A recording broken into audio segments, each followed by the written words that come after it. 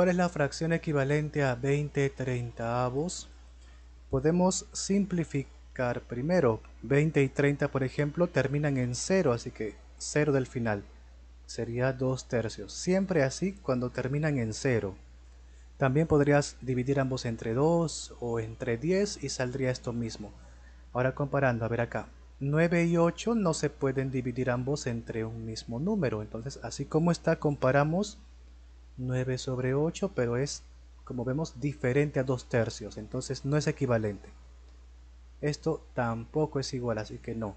Pero acá sí, salió igual, entonces aquí está la fracción equivalente. Recuerda que las fracciones tienen infinitas fracciones equivalentes. Y una de ellas para el 20 treintavos acá está y es el 2 tercios. Fin.